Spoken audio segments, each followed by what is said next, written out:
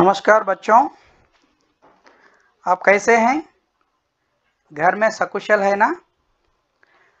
हाँ आप सबको हिंदी की कक्षा में हार्दिक स्वागत। मेरा नाम है बी श्रीनिवास। मैं खम्मम जिला पेनुबल्ली मंडल के चिंतागुड़म में हिंदी अध्यापक हूँ। बच्चों, आप अपनी पाठशालाओं के दीवारों पर, मंदिरों के दीवारों पर या सार्वजनिक स्थलों के दीवारों पर कुछ वाक्य देखे होंगे। धर्मो रक्षति रक्षितः, मानव सेवा ही माधव सेवा है, इच्छा ही दुख का कारण है, परोपकार ही परम धर्म है परिश्रम से ही व्यक्ति अपना लक्ष्य प्राप्त कर सकता है। ऐसे वाक्य देखे होंगे। ये सब क्या है? हाँ कुछ लोग कहते हैं कोटेशंस सही कहा आपने। इनको हिंदी में नीति वाक्य कहते हैं, या नीति वचन, या सूक्तियाँ कहते हैं। इन सूक्तियाँ या नीति वाक्य क्यों लिखते हैं? इनका अनुसरण करना क्यों आवश्यक है? एक बार सोचिए। क्या नीति वाक्यों का हमारे जीवन पर प्रभाव होता है? हाँ ज़रूर होता है। नीति वाक्यों का हमारे जीवन पर गहरा प्रभाव होता है। इन वचनों से हमारे जीवन में बहुत परिवर्तन होते हैं। इन नीति वाक्यों का अनुसरण करने से हमारा जीवन परिवर्तन होते हैं। नैतिक भावनाओं का विकास होता है। हम बुरे मार्ग से हटकर अच्छे मार्ग पर आ जाते हैं।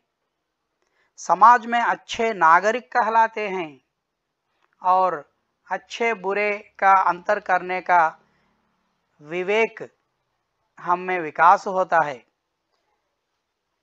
इसी प्रकार के नीति को बोध कराने वाला एक पाठ आज हम पढ़ेंगे। पाठ का नाम है नीति दोहे। नीति दोहे, नीति को बताने वाले या बोध कराने वाले दोहे। ये दोहे क्या है? दोहे एक प्रकार का, एक प्रकार के पद्य है। फिर दोहे क्यों कहते हैं? पद्य क्यों नहीं कहते हैं? दोनों में छोटा सा अंतर है। क्या है कि पद्य चार पंक्तियों में होते हैं, लेकिन दोहा दो पंक्तियों में होता है। दोनों में यही अंतर है। दो पंक्तियों में लिखाया गया। दो पंक्तियों में लिखा गया पद्य को ही दोहा कहते हैं। यहाँ पर हम रहीम और बिहारी, ये दोनों कवियों के कुछ दोहे पढ़ेंगे। दोहे एक विशेष विधा है। दोहों का भाव निगूढ़ होता है। छोटे छोटे शब्दों से अपार भाव का संचार होता है। यानी दोहे गागर में सागर भर देने वाले होते हैं। दो पंक्तियों का दोहा विस्तृत भाव को दर्शाता है। सूक्ष्म में गहरी भावनाओं को व्यक्त करते हैं दोहे। अब चलेंगे पाठ की ओर। पहले उन्मुखीकरण देखेंगे। देखिए, यहाँ पर एक छोटी सी कविता दी गई है। पढ़ेंगे। फल वाले जो तरु होते हैं, धरती तक नम जाते। बिन फल वाले वृक्ष व्यर्थ ही अपनी अकड़ दिखाते। बनो वृक्ष फलदार, नम्रता से जीवन सरसाओ। बुलबुल मीठा बोले, कोयल प्यार सभी से पाए। पर कव्वे की बोली, उसको अपमानित करवाए। बुलबुल कोयल बनो, ना बोली कव्वे की अपनाओ। फिर एक बार पढ़ेंगे, ध्यान से सुनिए। फल वाले जो तरु होते हैं, धरती तक नम जाते।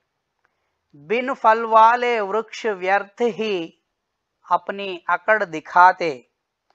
बनो वृक्ष फलदार, नम्रता से जीवन सरसाओ बुलबुल मीठा बोले, कोयल प्यार सभी से पाए। पर कव्वे की बोली, उसको अपमानित करवाए। बुलबुल कोयल बनो, ना बोली कव्वे की अपनाओ। क्या है इसका भाव? कवि इस कविता के द्वारा क्या कहना चाहते हैं? फल वाले जो तरु होते हैं, फल वाले का मतलब फल लगने वाले पेड़। फल वाले जो तरु होते हैं, वे कैसे होते हैं? धरती तक नम जाते। फल वाले पेड़ फल वाले वृक्ष धरती की ओर झुकते हैं, विनम्रता से रहते हैं। इसका भाव क्या है?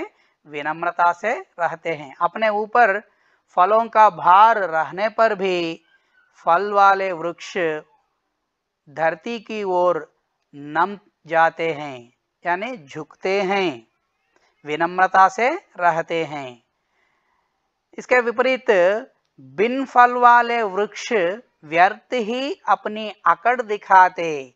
बिन फल वाले वृक्ष, बिना फल वाले वृक्ष। जिन पेड़ों को फल नहीं लगते हैं, वे बिना फल वाले वृक्ष है। वे वृक्ष कैसे होते हैं? व्यर्थ ही अपने अकड़ दिखाते। अकड़ का मतलब गर्व, घमंड। बिना फल वाले वृक्ष, फल नहीं देने वाले वृक्ष व्यर्थ ही अपनी गर्व दिखाते हैं, अपना घमंड दिखाते हैं। इसलिए इन तुलना के साथ साथ कवि कहते हैं कि बनो वृक्ष फलदार, नम्रता से जीवन सरसाओ। हमसे क्या कहते हैं कवि? बनो वृक्ष फलदार। फलदार वृक्ष के जैसे बनिए, बने रहिए। हमें कैसे रहना चाहिए? फलदार वृक्ष के जैसे रहना चाहिए। नम्रता से जीवन सरसाओ। सरसाओ का मतलब बिताओ। जीवन कैसे बिताना चाहिए? कवि के अनुसार, नम्रता से, फलदार वृक्ष के जैसे जीवन को बिताना चाहिए। और क्या कहते हैं? बुलबुल मीठा बोले, कोयल प्यार सभी से पाए। बुलबुल एक पक्षी का नाम है बुलबुल। बुलबुल की बोली कैसे होती है?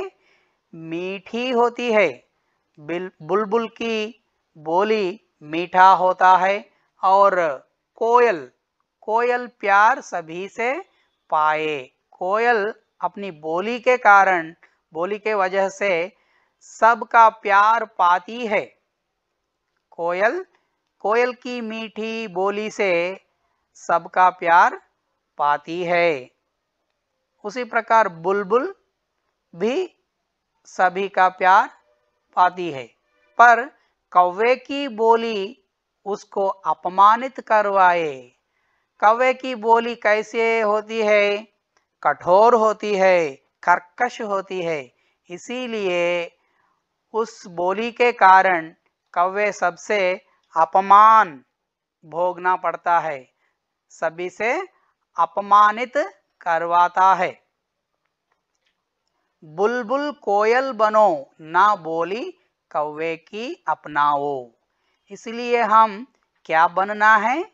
बुलबुल बनना है, कोयल बनना है। इसका मतलब हमारी वाणी भी मधुर होनी चाहिए। दूसरों को हानि ना पहुंचानी चाहिए।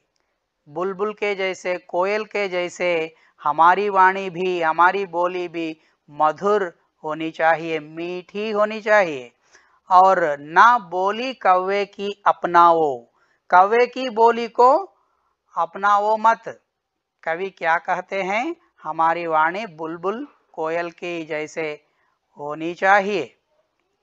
अब देखेंगे इस कविता के अंतर्गत कुछ प्रश्न दिए गए हैं।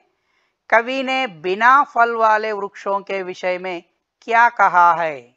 और दूसरा प्रश्न है, फलदार वृक्ष की विशेषता बताइए। और तीसरा प्रश्न है, बुलबुल और कौवे में अंतर स्पष्ट कीजिए। इन, यहाँ पर देखिए, कुछ चित्र दिखाई दे रहे हैं। पहले चित्र में हमको फलदार वृक्ष दिखाई दे रहा है। देखे हैं ना बच्चों? उनकी डालियाँ उस पेड़ की डालियाँ कैसे हैं? धरती की ओर झुके हैं।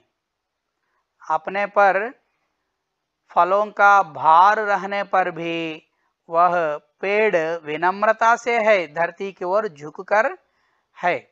और उसके बाद के चित्र में देखिए बिना फल वाले पेड़ है, बिना फल वाला पेड़ है। उस पेड़ के, उस पेड़ की शाखाएँ देखो, कैसे हैं? आसमान की ओर ऊपर सर उठाकर है। अकड़ दिखा रहा है, घमंड कर रहा है। और उसी प्रकार तीसरे चित्र में बुलबुल पक्षी है और चौथे चित्र में कोयल है। और पाँचवें चित्र में कोयल गा रही है। आप सब कोयल के गाने को पसंद करते हैं ना? हाँ अब देखेंगे उन प्रश्नों के उत्तर।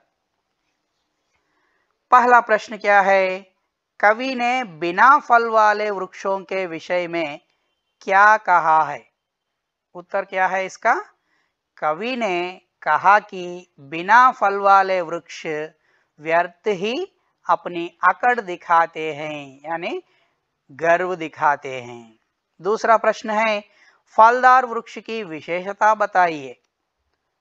फलदार वृक्ष की विशेषता है कि फलों को देने वाला पेड़ बहुत नम्र होता है, यानी विनय से रहता है, विनीत होता है।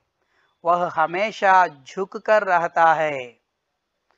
तीसरा प्रश्न है, बुलबुल और कौवे में अंतर स्पष्ट कीजिए।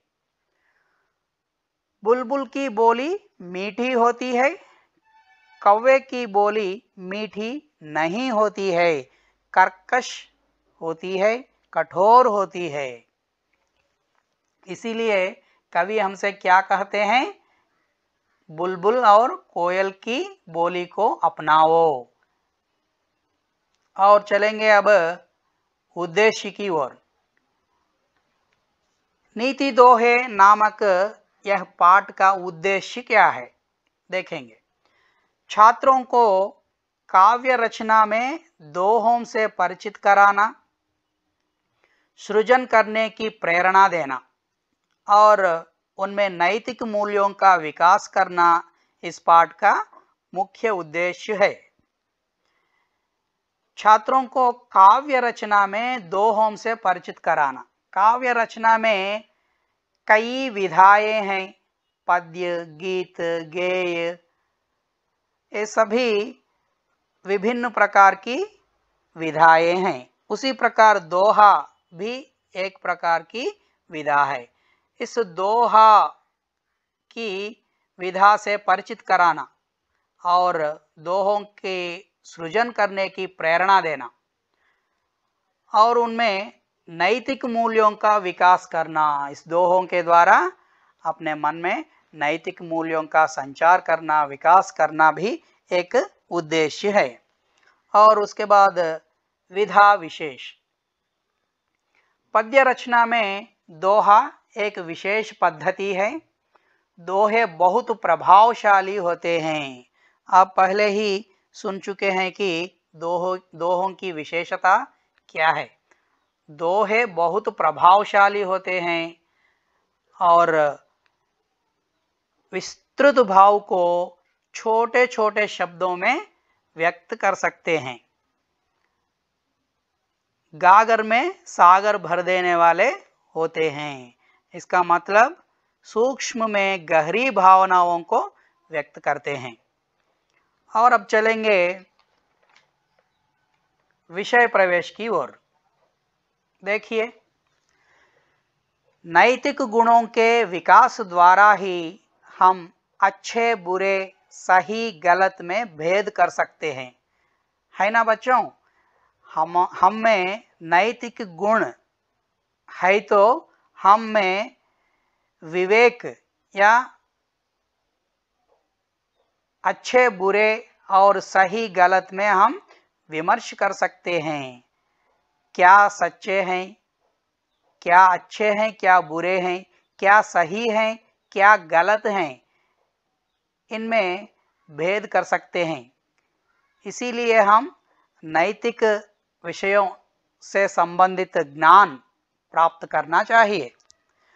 अब देखेंगे, पहले नीति दोहे के कवि रहीम रहीम का परिचय देखेंगे। यहाँ पर देखिए, कवि का नाम रहीम, जीवन काल 1556 1626 प्रसिद्ध रचनाएँ रहीम सत्सई बरवई नायिका भेद श्रृंगार सोरठ। विशेष, वे संस्कृत, अरबी, फारसी के विद्वान थे। वे अकबर के दरबार के नवरत्नों में एक थे। वे उनके प्रधान सेनापति व मंत्री भी थे। माना जाता है कि बड़े दानवीर थे। कवि का नाम क्या है? रहीम। रहीम का पूरा नाम खान खाना अब्दुल रहीम है। रहीम का पूरा नाम क्या है? खान खाना अब्दुल रहीम। जीवन काल। रहीम का जन्म 1556 में हुआ और उनकी मृत्यु 1626 में हुई।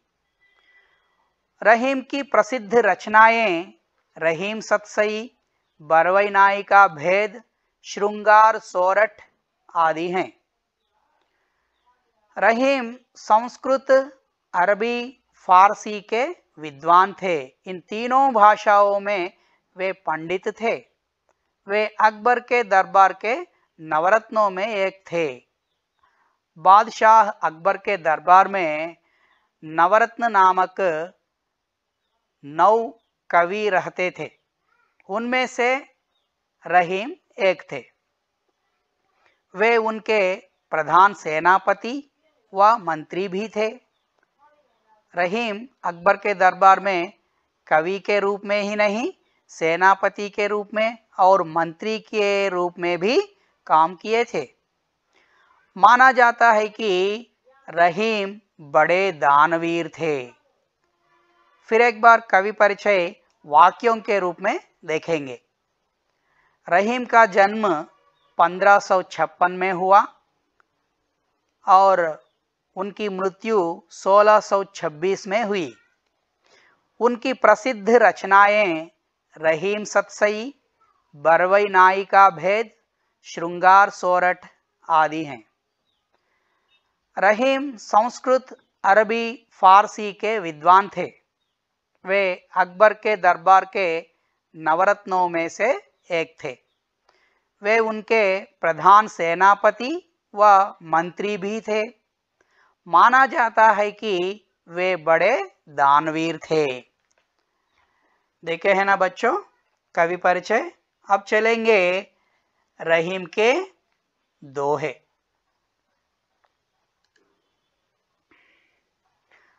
पहला दोहा, देखिए।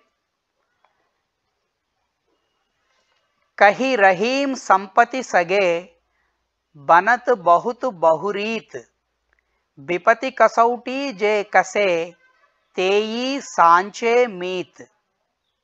फिर एक बार सुनिए, कही रहीम संपति सगे, बनत बहुत बहुरीत।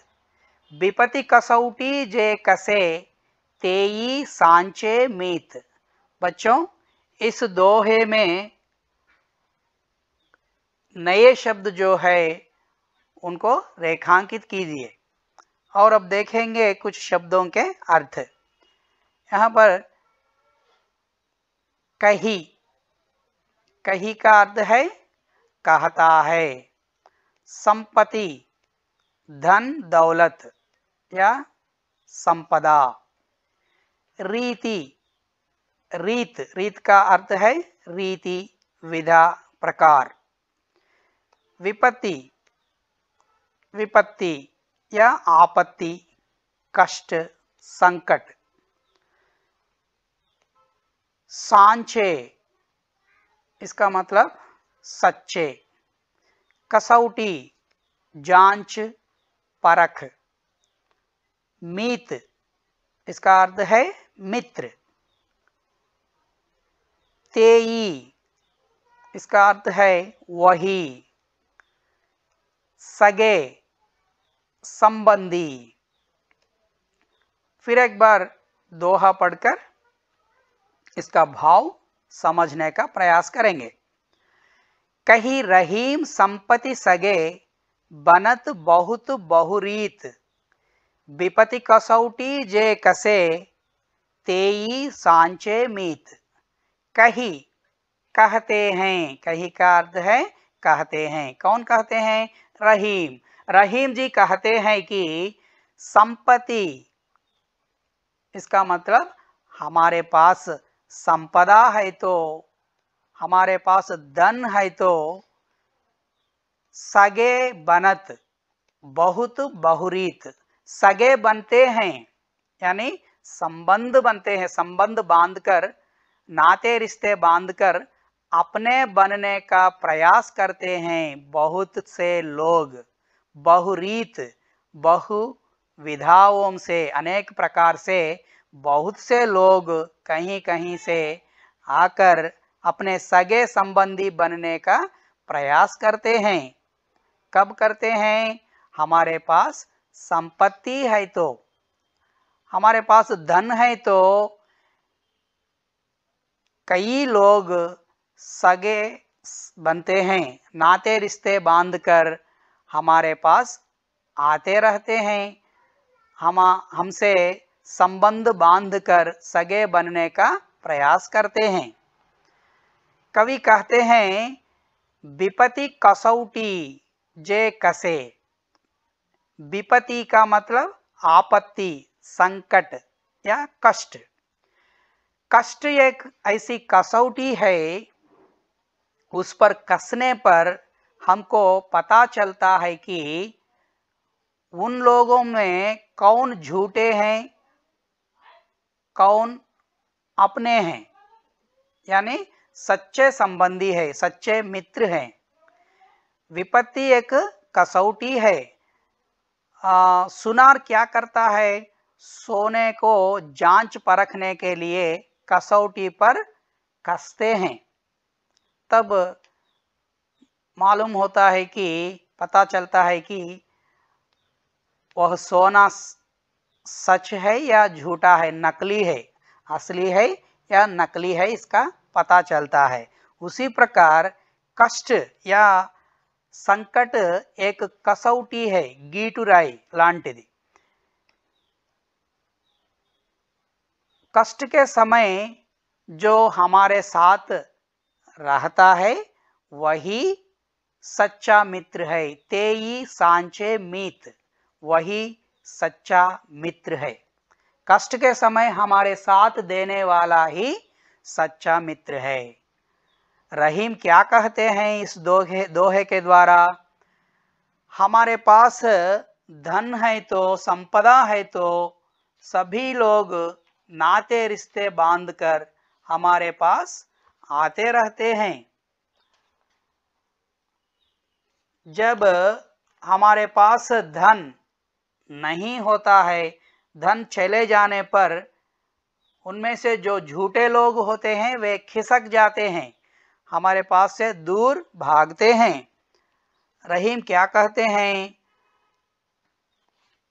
जब हमारे पास संपत्ति होती है, तब कितने ही लोग कहाँ कहाँ से आकर नाते रिश्ते जोड़कर सगे बने रहते हैं। उन लोगों में हमारा सच्चा मित्र कौन है और पराया कौन है, इसका निर्धारण विपत्ति कर देती है। संकट के समय में झूठे लोग खिसक जाते हैं। अपने सच्चे मित्र संबंधी ही हमारे साथ देते हैं। इसका मतलब संकट के समय साथ देने वाला मित्र ही सच्चा मित्र है। अब इसका भाव लिख लीजिए। इस दोहे में रहीम कहते हैं कि यदि कोई भी आदमी धनवान बन जाता है तो सभी का आदर करने में तत्पर रहते हैं। उसके साथ दोस्ती करने के लिए तैयार रहते हैं।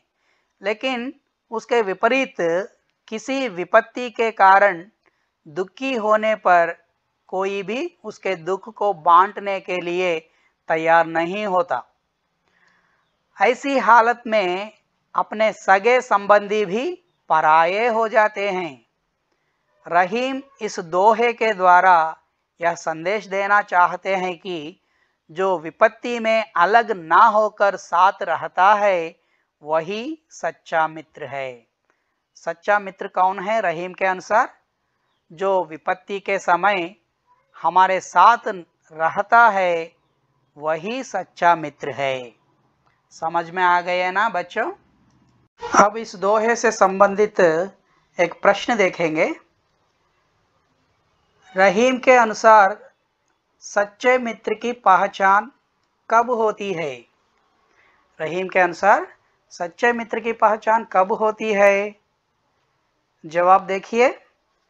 रहीम के अनुसार सच्चे मित्र की पहचान विपत्ति के समय होती है, यानी कष्ट के समय। हम जब कष्ट में हैं तो तब मालूम होता है कि हमारे मित्रों में कौन सच्चे हैं, कौन झूठे हैं।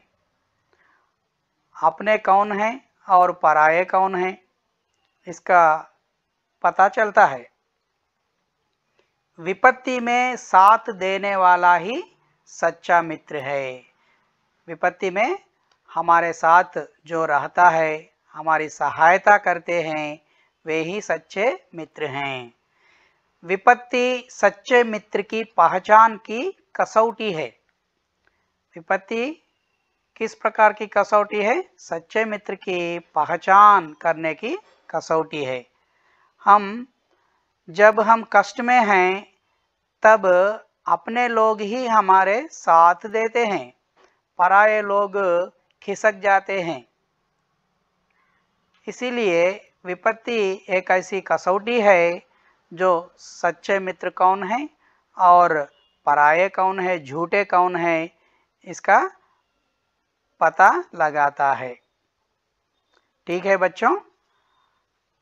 अब हम इस सत्र का समाप्त करेंगे।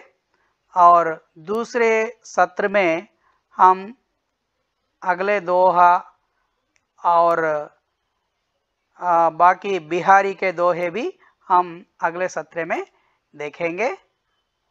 धन्यवाद।